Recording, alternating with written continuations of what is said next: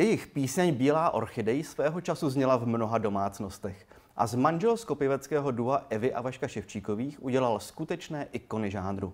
Jak se dnes Evě daří jako solové zpěvačce Evě Adams?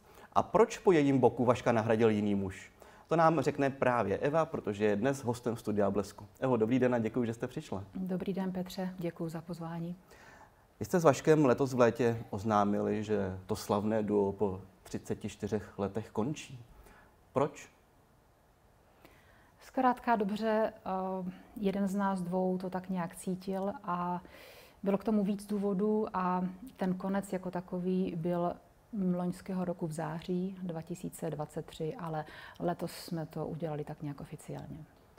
34 let, to je takový číslo, ten, jeden rok, číslo. ten jeden rok navíc by přece ještě jste mohli dotáhnout. Nepřesvědčovala jste třeba Vaška, protože předpokládám, že to byl on, kdo, kdo už chtěl skončit, aby to ještě ten rok aspoň na to půlkulaté jubileum dotáhnul? Ono se říká, že v nejlepším se má skončit, takže do ničeho jsme se nenutili a prostě tak to nějak vzešlo. Ono totiž už před x lety Vašek říkal, zhruba asi kolem roku 2010, tak mě říkal, Evo, já jsem přece o 17 roku eh, starší a jednoho dne budu mít bílý vlasy, já nechci prostě na, na jevišti stát vedle tebe jako šedivý človíček, tak eh, přece ty neskončíš, budeš pokračovat dál. A tak vlastně eh, vznikla ta myšlenka toho nového projektu Evy Adams. Určitě to nebylo den ze dne, ale mělo to nějaký vývoj. Vašek eh, v rámci toho zveřejnění, toho oficiálního ukončení prozradil i to, že zatím stojí jeden zdravotní důvod, že měl loňského roku mrtvičku. Mm-hmm. Takže je v pořádku? Vašek je v pořádku. Myslím, že se cítí dobře, fyzicky je na tom velice dobře. Eva? Zhodil, zhodil nějaké to kilo, takže vypadá dobře. Eva, Vašek eh, možná skončili nebo končí, ale eh, vy jste dala síly dohromady s novým partnerem. Mm. Po vašem boku se objevil nový muž. Mm. Tak můžeme porozrazit, kdo to byl a proč padla volba právě na něj? Chcete trošku historii o Evě Adams, anebo vyloženě určitě, povídat, určitě. jak vůbec vznikla Eva Adams, ano, třeba to jméno? Ano, ano. Máme čas? Máme, máme všechen čas na světě. Dobře. Eh, tak jak už jsem předtím zmínila, zhruba asi kolem roku 2012, 2010, prostě jak mě Vašek řekl tady tuhle tu myšlenku a já říkám, ale my budeme pořád zpívat jako spolu, já přece nechci nějak zpívat sama, nebo prostě nějak tak. On říká, ne, prostě jednou ten čas eh, přijde. A ten čas opravdu nastal. A v roce 2015 jsme oficiálně oznámili vlastně, nebo představili eh, publiku jméno Eva Adams. Je pravda, že od té doby my jsme byli každým rokem ve Spojených státech, takže se to tady moc jakoby neuvádělo. Pravdou je, že jako ve Spojených státech vystupují jako Eva Adams, ale tady spíš jsme byli pořád eh, ještě Eva Vašek, ale prostě se připravovala ta scéna a to podhoubí na to. No a jak vůbec eh, vzniklo jméno Eva Adams, to bylo, protože my jsme s Vaškem procestovali dá se říct celý svět. V Africe jsme nehráli, to je pravda. Ale celou Evropu od severu Švédsko, Dánsko, Norsko, Německo, Rakousko. Spoustu roku jsme hráli taky na Jadranu. No a potom po roce 2000 jsme navštívili několikrát eh, Kanadu, Austrálii i Spojené státy. A protože jsme zjistili, že vlastně mm, to moje jméno, Eva Ševčíková, eh, to bylo velice těžko vyslovitelné pro lidi, kteří nemluvili eh, česky. A tak Vašek říká, musíme ti vymyslet nějaký stage name, takový nějaký jméno prostě na jeviště, který by uměli vyslovit jak Němci třeba, tak anglicky mluvící publikum. A jednou jsme tak šli v Austrálii po pláži Šli jsme s našimi kamarády a vaše říká, potřebuji vymyslet Evě jméno, ale nějaký takový to typický, jako je třeba Novák, Svoboda v češtině, tak něco prostě jako a anglického. A, a ten náš kamarád David říká, to je jednoduchý, Eva Adams. A jak to řekl prostě, a, tak mně se to strašně zalíbilo a hnedka jsme to jako přijali. Ale musím říct, že když jsme třeba zpívali ve Spojených státech, tak jsem se jmenovala Eva Adams a občas lidé se mě ptali, a kde máš toho Adama? Tak to vlastně jako by nepochopili, ale prostě takhle vzniklo jméno Eva Adams. No, no a k té vaší otázce, a koho jsem si vlastně postavila po svém boku, tak vedle mě v současné době zpívá můj bratr. Jinek Dvořáček. Jinek Dvořáček. Povězte mi, ještě jsem se ptal, vlastně, proč ta volba padla právě na něj? Protože zpěváků, kteří by si zaspívali po vašem boku, určitě by byla celá řada, kteří by za takovou šanci byli eh, vděční. Mm-hmm. Já moc nevěřím na náhody. Já si prostě myslím, že v tom mém životě to tak nějak postupuje, že mě někdo prostě vede. A já si myslím, že i to, že jsem se dala eh, dohromady se svým bratrem, takže asi tak má být a jsem, jsem za to ráda.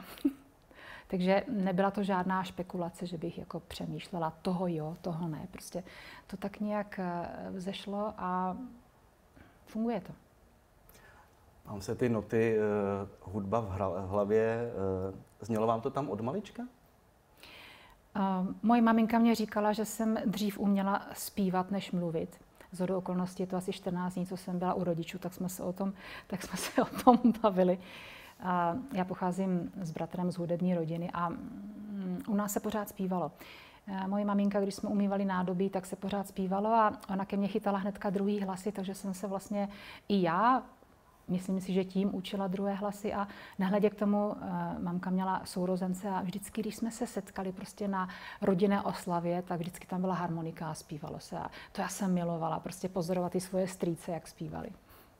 Vy jste studovala i klavír, eh, jak koukám. Eh. Já jsem studovala Takhle, od 6 let jsem začala hrát na klavír, což mě vůbec nebavilo, pochopitelně. Já jsem nejradši chodila hrát s klukama fotbal a hokej. Já, já měla hokejku doma, kopačáka, kopačky a musela jsem prostě hrát na klavír. No, až jsem teprve pocvičila, tak jsem mohla jít ven. No a chodila jsem teda i do zpěvu a ve 14 letech jsem se eh, dostala na konzervatoř, tam jsem studovala operu, klasický zpěv. Mm-hmm a k tomu vlastně je i klavír, že jo? takže klavír mě doprovází celý život. No. A hrozilo někdy, nebo měla jste někdy myšlenku, že kdyby to s tím zpěvem nevyšlo, že byste ráda studovala i něco jiného? já jsem, já jsem, a, protože vlastně, když já jsem dělala zkoušky na konzervatoř, to bylo v 85. to ještě bylo za totality, tehdy byly pouze tři tyto školy. Tuším, že kromě říš Praha a Brno, v Pardubicích možná taky, ale tam asi nebyl zpěv. A my jsme museli do té přihlášky napsat nějakou jinou ještě školu, a já jsem si říkala, tak si tam dám hotelovku, jenomže na konzervatoř jste potřeboval talentové zkoušky a na hotelovku taky, i když úplně jinýho druhu. To znamená, já kdybych neudělala talentovky na konzervatoř, tak bych se nedostala na hotelovou školu. Ale já jsem si říkala, že se mě budete možná smát, když mě nevíde konzervatoř, tak já půjdu dělat řeznici. Tomu jste měla vztah? Uh, já pocházím z vesnice. Z Boskovic? Ne, ne, ne, já pocházím, já pocházím z Blanska, nebo lepší řečeno z Rajce Jestřebí konkrétně. Aha. A protože mm, na dědinách se dělají zabíjačky a tak, tak my jsme vždycky s rodiči eh, jezdili, ne, že by my jsme neměli prase, ale jezdili jsme tak po kamarádech a mě vždycky bavilo vedle toho řezníka být a plnit výtrnice a krájet sádlo. A, tak naštěstí jsem se dostala na konzervatoř, takže řeznice ze mě nebude. Jak vzpomínáte na svoje školní léta? Dobře, eh, konzervatoř byla eh, jediná škola svého druhu, která neměla matematiku a fyziku. Takže to bylo úplně eh, fantastický, takže to bylo, to bylo příjemné. No. Jinak ta škola byla vlastně um, řekla bych, tak trošičku netypická, protože tam vlastně studujete ten svůj hlavní obor. My jsme ho měli třikrát v týdnu, měli jsme každý svého osobního profesora, ke kterému jsme docházeli. Eh, pak jsme ještě jednou týdně měli klavír, pak jsme měli literní předměty a pak jsme měli odborný, teda hudební předměty. A hm, ta škola nebyla od 8 do 2, ale hm, jsme šli třeba na 8 a z té školy jsme vyšli až v 6 večer, protože ty předměty jsme měli tak různě a bylo to tak daný, abychom vlastně v těch jednotlivých přestávkách mohli cvičit ten svůj nástroj, ten svůj obor. No, takže vzpomínám příjemně. Studovala jsem v Brně. Operní zpěv je přece jenom trošku jiná disciplína, než to, Úplně. čemu jste se potom věnovala um, nebo věnujete ve svém, ve svém životě. Kdy jste přišla na to, že ta opera není to pravé ořechové? Já jsem vlastně proč jsem šla na konzervatoř? To byl, já bych řekla, to byl sen mé maminky. Ona chtěla být zpěvačka, ale protože doma měli hospodářství a tak, tak to jaksi nešlo. Takže ona ten svůj sen přenesla na mě. A já si pamatuju, když jsem byla ve školce, tak jsme tam měli takový dvoreček, kam chodí děti vždycky na vycházky, a takový soudeček. A já jsem si na ten soudeček stoupla a začala jsem zpívat nějakou písničku. A v tu chvíli tam šel pan Březina, učitel v Lidové škole umění u nás a slyšel mě zpívat. A šel za mými rodiče a řekl, s tím byste měli něco dělat. Takže vlastně mm, já od toho, co jsem začala rozum brát, jsem jenom slyšela doma. Eva půjde studovat na konzervatoř. Takže vlastně mě se ani nikdo neptal, jestli to chci nebo nechci, ale já jsem to měla tak nějak v sobě jakoby um, zafixováno, ale pak jsem si vlastně zpětně říkala, protože to byla tak výběrová škola, nás se hlásilo asi 45 a dostali jsme se jenom tři, že vlastně pokud bych se nedostala, já bych vůbec nevěděla, uh, co mám dělat. Takže určitě to nebyl můj sen být operní uh, pěvkyně, ale na to studiu jsem tak byla nějak přivedená mými rodiči, spíš teda mou mamínkou. Jako. Jak jste hleděla na v těch 80. letech na ty ikony pop music eh, tehdejší, Ondráčková, Zagorová, God? No tak, eh, jak jsem hleděla, s velkým respektem samozřejmě. Eh, moje puberta Michal David, Iveta Bartošová, takže to je prostě non-stop, já chci žít non-stop, že jo, takže to je, to je prostě nádhera. To, to, to je prostě Jestli kdekoliv... ten žánr třeba byl, byl blízký a říkala jste si, že byste třeba zkusila i pop? Blízký mě byl určitě jednoznačně, protože jsem byla normální dítě, takže hmm. já jsem sice studovala tu operu, ale že by mě to nějak uh, efektovalo, ne, to určitě ne. Ale vzpomínám si, když jsem byla ve čtvrtém ročníku před maturitou, tak uh, moje mámka říkala, běž někam zpívat, jako běž. Já říkám, ale mami, my nemůžeme, protože to bylo tehdy, já jsem maturovala v 88., takže před revolucí. A v té době se nesměla dělat jakoby mimoškolní činnost. Já vím, že já jsem byla ve třídě s dechařema, kteří hráli na různé dechové nástroje a protože třeba byli z Jižní Moravy, tak tam hráli po těch dechovkách a tak a to se nesmělo a oni byli za to, mm, za to byly velké sankce a postihy. A mamka říká, běž, někam to zkus. No a já jsem opravdu před tou maturitou začala už zpívat tehdy s Vaškem. Já vím, že vy jste už eh, právě během studia mm-hmm. začala vystupovat. Tehdy mm-hmm. to mhm. byla kapela Surf, jestli Tehdy to byla kapela. Surf, ano. Kde jste se sešli? Kde vás objevili, řekněme? A zase, náhody neexistují. Mm, protože jsem vyrůstala v prostředí, kde se třeba zpívaly lidovky a tady ty písničky, tak mi to bylo blízké a líbilo se mě to. A mým vrstevníkům určitě ne.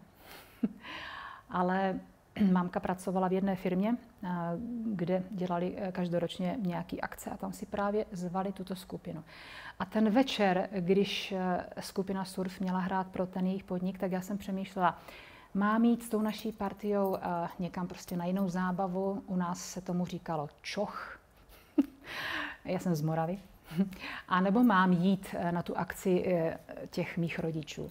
No já jsem nakonec šla na tu druhou, Eh, ve 12 jsem se vrátila dom, protože jsem musela chodit do 12 domů. Večerka? Měla, já jsem měla mm, přísnou výchovu. No asi kolem druhé, třetí hodiny eh, přišla mamka, začala se mnou loncovat v posteli a říká, Evo, možná budeš zpívat se surfem. No a já už jsem do rána nezamhouřila oko. A druhý den eh, Vašek přijel tehdy s naším klávesákem, s Marcelem, se na mě podívat a jako jestli teda jako jo nebo ne, protože Oni mu rodiče pustili nějakou vaši nahrávku ne, nebo ne, na základě ne, ne, ne, ne, to bylo úplně tak, že ten den, co vlastně Vašek se surfem přijel hrát eh, pro podnik, kde pracovala mamka, oni přijeli bez zpěvačky.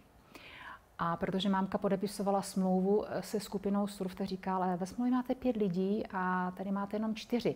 A pořád na toho Vaška jako tak dorážela, tak jak, jak to bude? Eh, vy jste nedodržel podmínky jsme samozřejmě v legraci nebo takhle. A Vašek říká, no tak ono je to bez zpěvačky lepší. On říká, tak to teda ne, já rada zpívám, a já, já mám dceru a ta taky zpívá. A Vašek se toho hned chytil. Vy máte dceru? On říká, jo, a, a co dělá? No, studuje konzervatoř čtvrtý rok. Ona studuje hudbu a zpěv a ona umí noty. Mu říká, no tak od malička zpívá, hraje na klavír. No a proč se ptáte? On říká, no já bych, já bych chtěl někoho do skupiny se vzděláním a zpěvačku. No a slovo dalo slovo a opravdu ten druhý den se na mě přijeli podívat. Dopadlo to evidentně dobře. to bylo, já jsem celý den byla pochopitelně nervózní, zazvonil zvonek, já jsem utíkala dolů ke schodům. Teďka jsme si sedli v obyváku.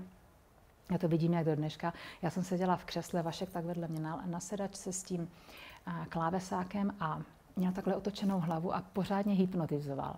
Já jsem z něho byla tak nervózní a nic neříkal. A pak říká, posloucháš muziku? Já říkám, jo. A jaký se ti líbí písničky? Protože on si myslel, že když chodím na klasický zpěv, takže znám jenom operu. Jo. A já říkám, no, jako Bartošová a tak. A on říká, jo. A já říkám, jo, jo, jo. A on říká, tak dobrý, tak my tě berem. A já říkám, a to si mě ani neposlechnete? On říká, tak mě teda něco zaspívej, no. tak, jsme se přesunuli do pokojíčka. říkám, co ho okouzlilo. to, ne, ne, to bylo, to bylo fakt jako, tak my tě teda jako berem, jo. A mm, pak vlastně jsme šli do pokojíčka, tam jsem si sedla ke klavíru a zaspívala jsem nějakou písničku. A on říká, tak dobrý, no, tak druhý den mě přinesl texty, kazetu se sedmi písničkama, v úterý byla zkouška a v pátek bylo moje první vystoupení, takže to byl, to byl úplný křest ohněm. Jako. Měla jste trému? Měla. Já si myslím, že tréma jako taková je asi nezbytná tady k tomu všemu, protože mm, já jako cítím vlastně pocit zodpovědnosti. Když je vlastně tréma, tak to je, eh, že jste zodpovědný vůči, vůči tomu, abyste vlastně odvedl to, co třeba ti lidi od vás očekávají třeba. Ono určitě něco jiného je vystupovat eh, na menší zábavě v nějakém kulturním domě.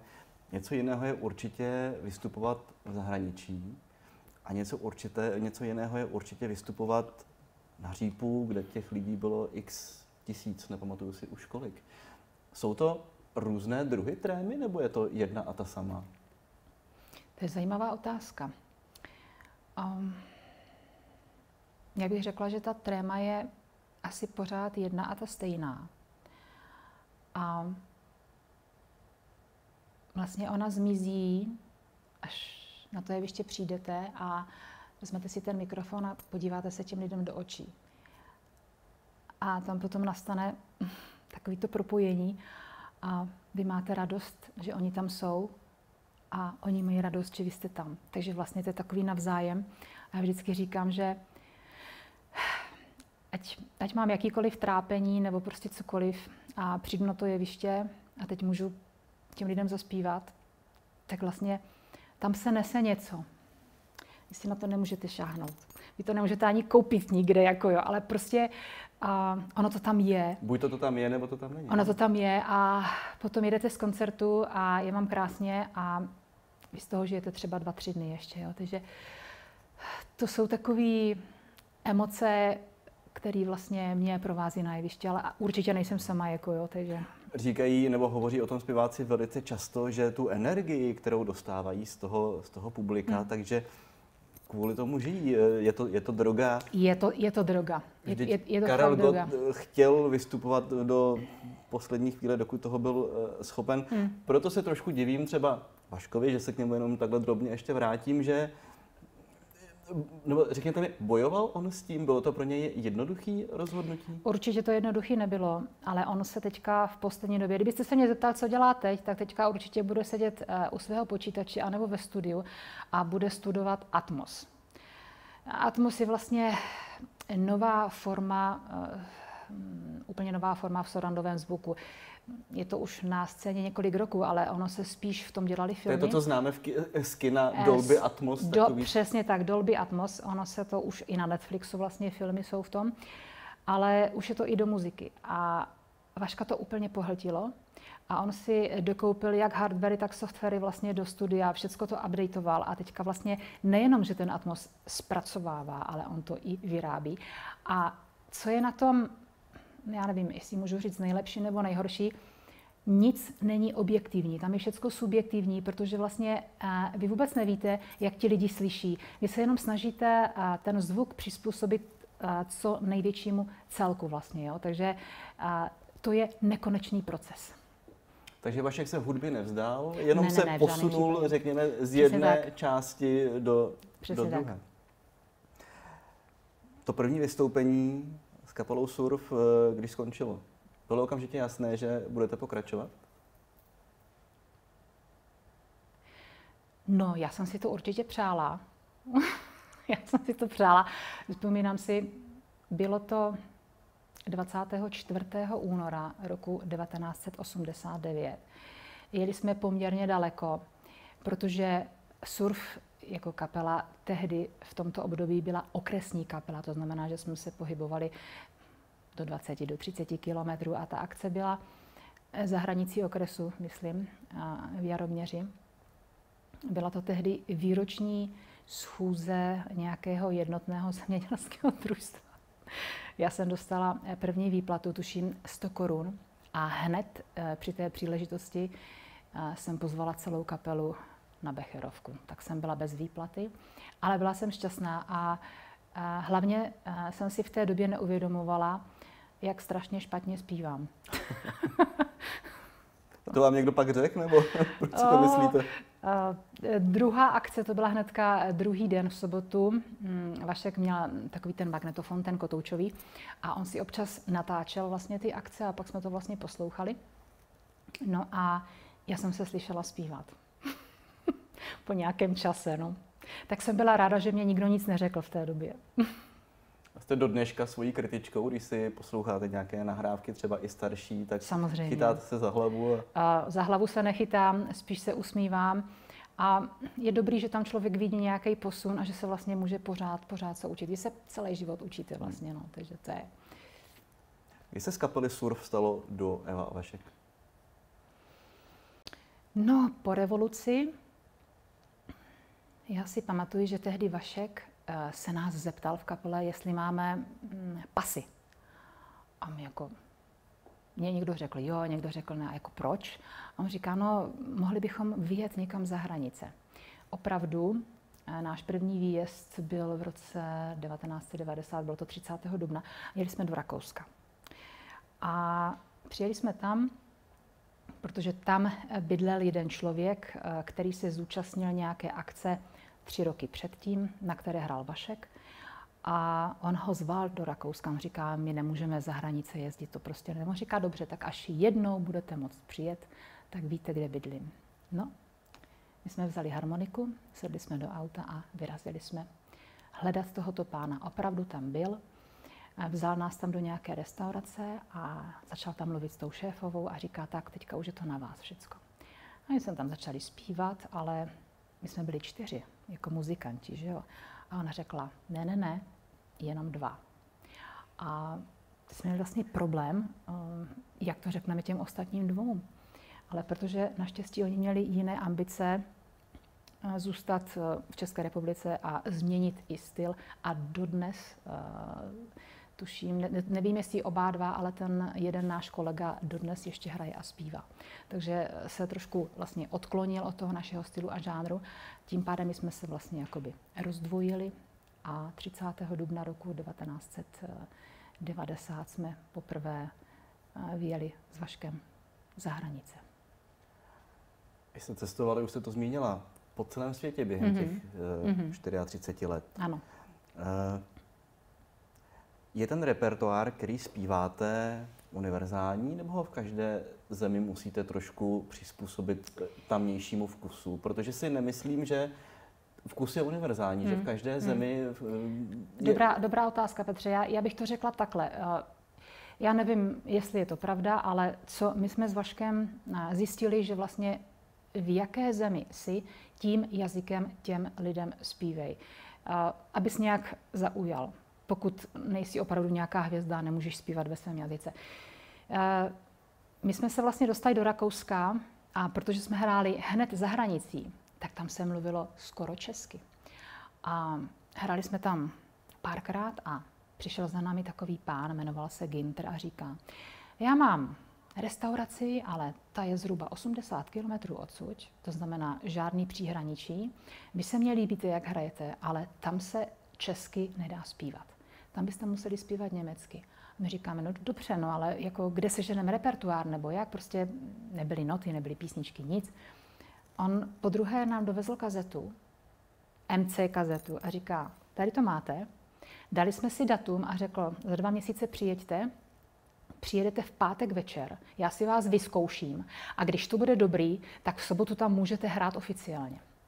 Tak já jsem si doma sedla, začala jsem opisovat noty, začala jsem zhánět texty a tam bylo sedm a, německých, rakouských písniček prostě.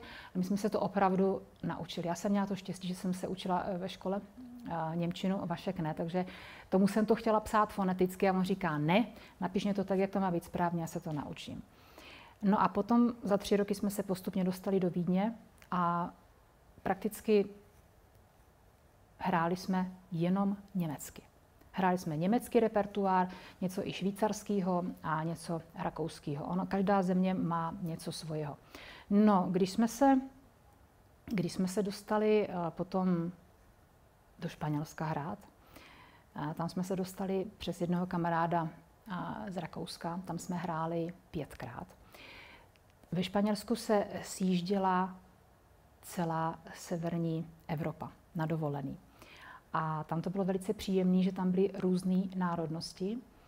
Angličtinu tu jsem absolutně neovládala, protože jsem se učila Němčinu. No ale postupně jsme se um, naučili i španělsky, protože když jsme skončili s hraním, tak jsme chodili s číšníkama do těch jejich eh, typických barů a restaurací a oni neuměli jiný jazyk než španělštinu, tak jsme začali s nimi mluvit.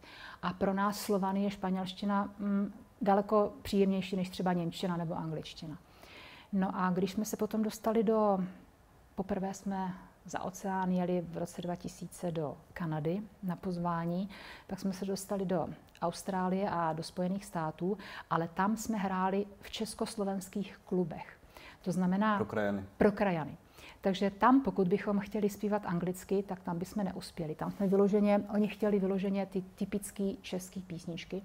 A v těch klubech vlastně byly hm, takový, dá se říct, degenerace těch lidí. Ti, kteří zakládali ty kluby, eh, ti tam zakládali v roce 1948-50. Takže ti už tehdy měli 80 roků.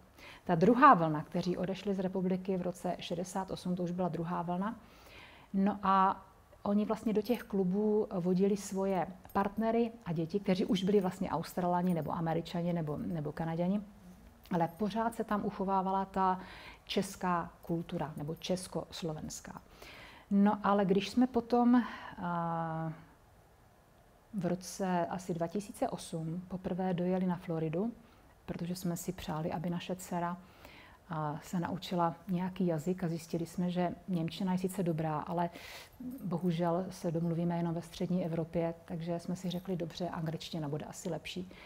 No a já jsem potom asi v roce 2015 nebo 14 tehdy v jednom klubu zaspívala šli jsme do německého klubu a kamarádi říkali, my známe muzikanty, běž si tam s nimi něco zaspívat. Já říkám, teď to je divný, jako abych chodila. No, mi říkali, ne, je to domluvený. Tak já jsem šla, zaspívala jsem tam dvě písničky. Měla jsem standing ovation, jsem z toho byla taková celá překvapená, ale příjemně překvapená. Přišla prezidentka toho klubu a říká, já tě tady chci. Já říkám, no jo, ale já nemám a, výzum pracovní, já nemůžu. On říká, až budeš mít výzum, tak se přihlas. A to byla vlastně ta myšlenka, a že bychom nemuseli v té Americe být bez hraní, bez zpívání, ale abych, abychom tam třeba také i zahráli a zaspívali. No a tam jsem už potom začala hrát pro Američany a samozřejmě těm eh, zpívám anglicky. Ale Amerika je multicultural, to znamená, tam jsou všechny národnosti. A já ve Spojených státech zpívám v sedmi jazycích, a to jsem se chtěl zeptat, v kolika jazycích zpíváte, takže v sedmi. Zpívám v sedmi jazycích, samozřejmě základ, totální základy angličtina, ale američani jako takový, oni si říkají američané, ale jsou Irové, Němci, Poláci, Švédi, prostě přesně tak, přesně tak. A oni jsou na to hrdí, že třeba ta babička tam přišla před těmi eh, před první světovou válkou nebo na těch lodích, že jo, na Ellis Island a tak podobně. Takže a v nich to je a oni jsou hrdí prostě, že v nich koluje nějaká ta krev toho jiného národu. A já když to vím, tak já tam třeba dám italskou písničku a oni, i když nerozumí, tak prostě říkají, jo, moje babička. Takže vlastně mm, toto je úžasný a Američany jako takový, oni jsou strašně bezprostřední. A oni přijdou a řeknou, to je obdivuhodný, ty zpíváš v sedmi jazycích, my máme jenom ten jeden. Já říkám, no jo, jenomže vy jste velicí, takže vy nepotřebujete, na rozdíl od nás, od Evropanů, kde my jsme malincí a musíme eh, těch víc jazyků tak nějak jakoby ovládat a tak nějak. Je těžký tam prorazit a udržet se? Chce to štěstí nebo co, co je ten recept? Já si myslím, že to je úplně všude stejné. A všude potřebujete štěstí, potřebujete něčím zaujmout, a být něčím netypickým, prostě něco, proč ti lidi na vás chtějí jít a třeba i opakovaně a je, je jim u toho dobře. A tam vůbec nezáleží třeba, já když jsem přišla do Spojených států, já jsem nemluvila anglicky. Já neříkám, že mluvím, tím, že nemám absolutně... Vy Eh, tím, že nemám vůbec ani základy v angličtině, gramatiku nebo tak, prostě eh, já tu angličtinu eh, tak nějak chytám od lidí z, z těch rozhovorů, takže já se domluvím, ruce, nohy, a vůbec jim nevadí, že mám přízvuk a říkají ba naopak, jenom si to udrž, já říkám, no nebojte se, ten já nestratím. Takže ještě se vrátím teďka na chviličku trošku zpátky do toho momentu, kdy eh, vedle vás Vašek seděl v obýváku a hypnotizoval vás. Přeskočila jiskra hnedka, nebo to mělo vývoj? To mělo vývoj. Mě bylo 18. Já byla nepolíbená. to, to mělo všechno svůj vývoj. Asi to tak mělo být. Jestli se můžu zeptat, kdy, kdy, kdy vás napadlo, že Vašek Ševčík není jenom kapelník, ale že se vám dvoří jako muž? On se mě nedvořil. On se mě jenom prostě líbil. Takže vy jste zbalila jeho? Asi jo. Možná. tak to nějak vyplynulo. Vy máte dceru, Evičku. Mm-hmm. Jde ve vašich šlépějích? Myslíte hudebních? Mm-hmm. Ráda zpívá, ale nejde v našich šlépějích. Eh, hrála na klavír, chuderka malá. Já bych se jí tímhle chtěla tak možná trošku omluvit za ty léta, ale za to všechno může Vašek, protože on řekl, naše dcera bude chodit do klavíru, ne aby byla virtuózka, ale prostě považovala to za eh, součást toho základního nějakého vzdělání.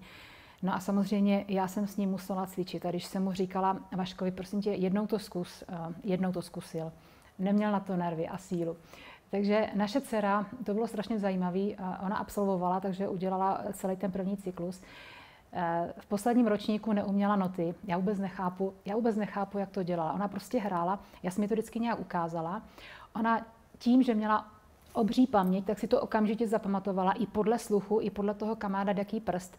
Ale po těch osmi letech ona neuměla noty. Takže to bylo takový jako... Ráda ale zpívá, ráda má muziku a um, i když toho moc na ten klavír nahrála, tak když hrála, tak eh, s velikým citem. Takže ten cit tam byl.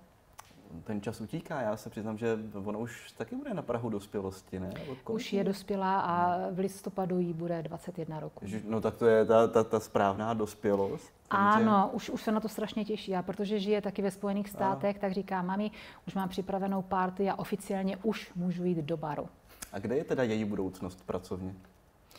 Mm, vzhledem k tomu, že eh, má přítele a to teda musím říct, že vlastně, když jsme eh, začali jezdit do Spojených států proto, aby se naučila jazyk, tak jsme si vlastně neuvědomovali, že ona se nám tam může i zamilovat. A ono se to stalo. Eh, má tam partnera, má tam přítele a nyní spolu žijí. Takže řekla bych, že to spíš vypadá už jako tam ale pořád se cítí eh, Čechem. Na to jsem strašně hrdá a pišná. A z okolností za, za pár dní jsem zase doletí. Každým rokem tady je. Spíš jsem myslel, eh, kam jí to eh, bude táhnout pracovně, jestli bude já si myslím, doktorka já si... nebo jo, právnička nebo... No tak když ji pozvete sem, tak se jí na to můžete zeptat. Já to nechávám zcela na ní a celou dobu jí říkám, Evi, i kdybys eh, dělala cokoliv uklizečku a byla bys u toho šťastná, tak já budu šťastná jako tvoje máma, že mám šťastný dítě, takže nechávám to na ní. Samozřejmě poradit jí můžu, ale eh, znáte to, nevyžádané rady nejsou moc dobrý, takže pokud se mě zeptá, mami, co si myslíš, nebo, nebo co, tak, tak jí řeknu svůj názor, když se mě zeptá. Rozumím. Eh, vy jste zmínila, že jste do té Ameriky začali jezdit kvůli dceři, aby se mm-hmm. naučila jazyk. A Teď jsme v situaci, kdy tam trávíte většinu roku, eh, vystupujete tam, zpíváte tam. Jak ten čas dělíte mezi Česko a státy a neláká vás to víc třeba vrátit se sem? Mm, velký zlom se stal, eh, když byl covid. A my jsme vlastně do té doby jsme pořád eh, to tak nějak měli, dá se říct, půl na půl. I když začali jsme, že tři měsíce tam a devět měsíců tady. Pak jsme si to prodloužili na čtyři měsíce a osm. Pak jednou jsme si to prodloužili i na pět a sedm. A potom, když jsem začala hrát teda, když jsem měla to povolení. No a potom přišel covid a my jsme vlastně tři roky zůstali ve Spojených státech, že jsme se nedostali jakoby domů. A tam nastal ten velký zlom, kdy asi Evička mm, našla toho přítele. A když najednou vidíte, že prostě dítě někde žije, i když samozřejmě vysednete na letadlo a jste tam za 15 hodin, ale mm, prostě ona žije zhruba hodinu a půl ode mě, takže to je super na Ameriku, to není žádná vzdálenost. Jako. A to jsem si najednou uvědomila, že vlastně se dá žít na obou dvou stranách, že se to dá. A já bych řekla, že to je takový uh, příjemný zpestření toho života, jak se říká, změnit lokál. Jo? Takže já už jsem asi 25 roků neviděla sníh, protože vždycky v zimě uh, trávím v létě. No a v současné době to mám nastavený tak, že 8 měsíců jsem ve Spojených států a teď jsem tady zhruba 4,5 měsíce v České republice. Ale užívám si to. Hlavně, když jezdím z koncertu na koncert a jezdím mm, naší českou krajinou. To je nádhera. Na Floridě je taky hezky. Nemůžu říct, že by bylo tam líp nebo tady líp, ale každá krajina má něco. Tam je modrá obloha a palmy a tady jsou zase naše české lesy. Nepřemlouvají vás fanoušci, že vás chtějí Z obou stran. je, je to tak, s obou stran, když, eh, když jsem tam a mám vlastně letět sem, tak už aby, už aby byla zpátky, aby jsme měli kam chodit a, a hm, tohle, bude to fán a tak. A, a tady zase říkají, a nechceš si to tady prodloužit, tak a, už jsme mluvili se svojí agentkou, že by eventuálně jsme to tady trošičku díl natáhli, abych tady zase víc mohla hm, koncertovat a zpívat pro naše publikum. Když se teďka ohlédnete uh, za tou vaší uh, muzikantskou uh, částí dosavadní uh, života, co je pro vás třeba nejsilnější zážitek umělecký? Kde jste vystupovala, kde vás to opravdu zasáhlo, kde byla nějaká reakce fanoušků, nějaké, nějaké zásadní setkání? Um, Napadá mě okamžitě vzpomínka na to, když eh, Karel Gott nás pozval na své sedmdesátiny do Autu arény. To byl úžasný zážitek. A tři dny předtím byly zkoušky. A každý interpret dostal určitý čas, kdy na tu zkoušku má přijít. A my jsme si s Vaškem řekli, že tam prožijeme celý tři dny. A tak to bylo. My jsme tam šli vždycky ráno a odcházeli jsme večer. A prostě jsme nasávali na tu atmosféru eh, z těch všech, kteří tam byli. O každém jsme se udělali nějaký obrázek sami pro sebe. Dívali jsme se vlastně, jak to dělají naši hudební kolegové z branže, ale co jsme nejvíc teda mm, cítili, tak uh, Karla Gota. Jeho obrovskou trpělivost a profesionalitu. To, to byl asi jeden z největších zážitků. Jinak musím říct, každý vystoupení je originální a každý vystoupení má svoji atmosféru a je to samotný svůj, začát, eh, svůj zážitek. A my jsme měli s Vaškem v určitém období i dvojáky. A i když zpíváte stejný repertoár, ve stejném sále jsou tam jiní lidi, po každý je to jiný. Takže vlastně i každá akce je originální. A když se ptáte na pocity, zážitky, tak mě teď hned napadlo ty 70. Karla Gota. No. Hmm. Mimochodem bude to v těchto dnech, eh, nebo relativně brzy, pět let, co uh, Karel odešel, tak se to hodí jako taková hmm. připomínka k jeho výročí. Vy jste nazbírali já to tady mám někde vypsaný, ale opravdu neskutečný počet zlatých, platinových, eh, hmm. nevím, jak se všechny eh, ty eh, označují, multiplatinový možná ještě hmm. desky. Vystavujete si to? Prosím? Vystavujete si to? Máme to...